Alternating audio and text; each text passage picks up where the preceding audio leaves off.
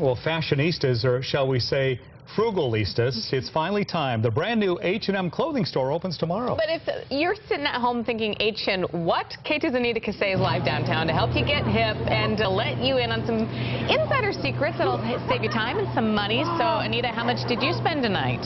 Well, Deb, that's the beauty of it. You don't have to spend a lot, but we sure got a lot while we were shopping. This is where Saks Fifth Avenue used to be. A lot of folks think H&M is going to be a much better fit here in Pioneer Place, especially in this economy. It is dubbed the IKEA of clothing, and just like IKEA, you can see how many folks are camping out just so that they can be the first to get in and get shopping.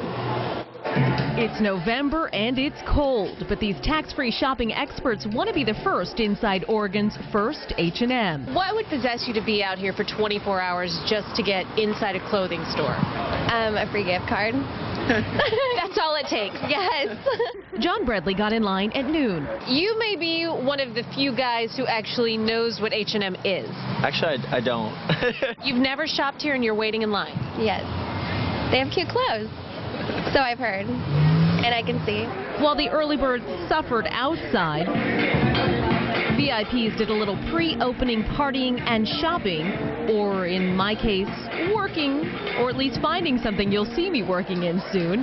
Like many women, happy not to have to schedule big city shopping trips anymore. What is it that would make you drive four hours to go shopping at one store? because they're always in every magazine. In every magazine, they'll have something really cute, and then they'll say it's from H&M, and it's if you want to wear Pretty this, inexpensive. So this is one of my favorite sweaters in the store. I love big chunky knits and they're really big this fall. Um, and this is a great one. It has this kind of Navajo print detail and it's only $49.95. Pansy Toulouse showed off some of the deals that have helped make H&M the world's third largest fashion chain. She also let us in on secrets even I didn't know, like not all labels are the same. This is our modern classic label and it, pretty much everything in this collection is for business wear. This is uh, from our divided concept and our divided concept is more junior. We have it for men's and women's. It's a little bit more fun. It's a little bit brighter colors. This is our main label at H&M. Uh, it is called Everyday and it really means what it stands for, every day. It's pieces that can range from dresses to party pieces to casual sweaters. It's a little bit of everything and anybody can wear it. And that's the dark black label. It's a dark black label.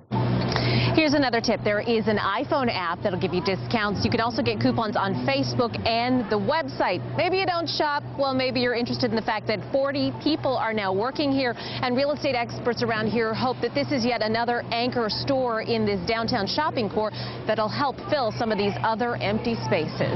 Live in downtown Portland, Anita Kissée, KATU News. I noticed you had a big smile when you came back from that story tonight. and a big bag. and a big bag as well. Anita Kissée, thank you.